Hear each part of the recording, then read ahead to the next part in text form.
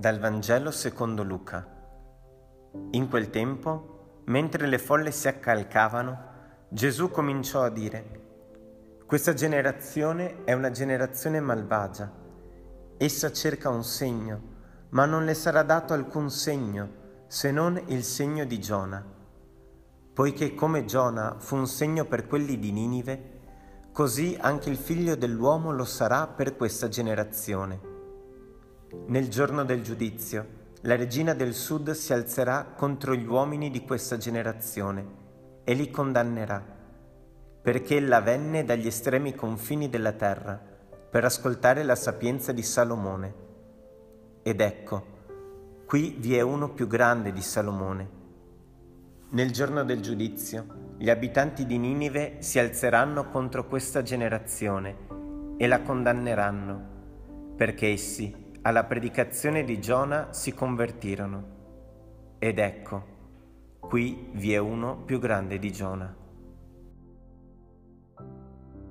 Continua l'insegnamento della parola di Dio sulla trasformazione che Dio si aspetta da noi, il passaggio dalla legge alla grazia. Perché la legge può essere, ti può dare solo lo schema del bene, ma non lo rende operativo. Ti può indicare che cosa è male, che cosa è sotto la sufficienza, ma non ti ripara dal male, più di tanto. Notate anche nella società civile che le leggi più repressive non, non arginano i delitti. E che in certe società, come negli Stati Uniti, la pena di morte non diminuisce il numero dei delitti. Invece la grazia di Dio suscita il volere l'operare, anche quello, quello che tocca a noi, cioè il volere l'operare, però Dio lo sa suscitare e lo sa risuscitare, perché Dio è così, è creativo e ricreativo. Ecco la supplica, l'invito di San Paolo nella lettera ai Galati. Fratelli, noi non siamo figli di schiavi, ma di una donna libera, siamo figli di Dio della Chiesa. E Cristo ci ha liberati per rimanere liberi. Siete dunque saldi, non lasciatevi eh, imporre di nuovo il gioco della schiavitù, cioè non tornate indietro alla logica della legge che vi dà lo schema del bene e del male, ma non ti può dare la forza per contrastare il male, per operare il bene. E allora San Paolo fa proprio il confronto paradigmatico, dice qui c'è un, c'è un evento che è successo al nostro padre Abramo, nostro padre nella fede, che rimane per sempre, diventa un'allegoria del rapporto tra la schiavitù della legge e la libertà della grazia. Perché appunto cosa dice la legge? Eh, guarda, tua moglie è sterile e quindi te la devi cavare in qualche modo. Allora la legge aveva prescritto che si poteva prendere una schiava che poi partorisse sulle ginocchia della moglie, cioè la donna libera. Eh, ma non funziona.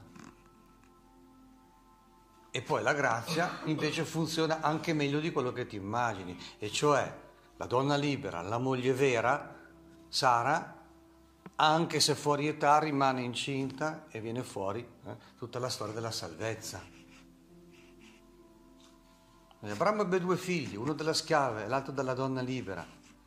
Ma il figlio della schiava è nato secondo la carne, e cioè il nostro tentativo umano hm, di mettere a posto le cose, di ottenere lo stesso quello che non riusciamo a ottenere. Non funziona. Invece il figlio della donna libera è in virtù della promessa, vedi le promesse di Dio. Guarda che tu avrai una grande discendenza, bisogna fidarsi. Infatti poi San Paolo spiega, guarda questa è un'allegoria, sono le due alleanze. Infatti le due alleanze dell'Antico Testamento sono proprio il rapporto tra la legge e la grazia, tra Mosè e il nuovo Mosè, tra Adamo e il nuovo Adamo. Cioè, creazione corrotta dal peccato e il nuovo Adamo che invece viene a ricostruirla attraverso la grazia. E così il rapporto tra le due donne, Agar e Sara. E allora San Paolo ricorda che nella scrittura sta proprio scritto anche così. Rallegrati sterili tu che non partorisci, grida di gioia tu che non conosci i dolori del parto.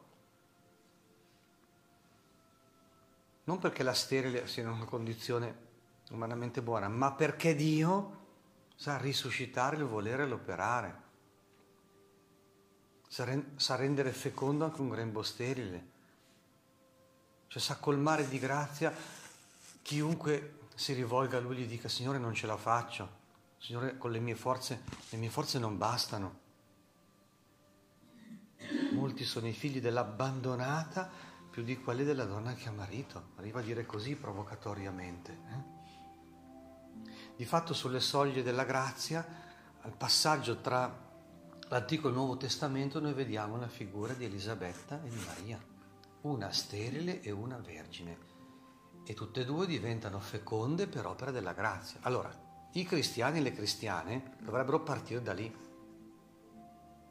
Ecco, quindi è, è vibrante l'invocazione di San Paolo. Cioè, non tornate indietro, vi prego, non tornate dalla libertà della grazia che anche quando non ce la fate più vi sa risollevare, alla schiavitù della legge che ti fa vivere sotto sforzo e con pochi risultati. Eh, guarda così.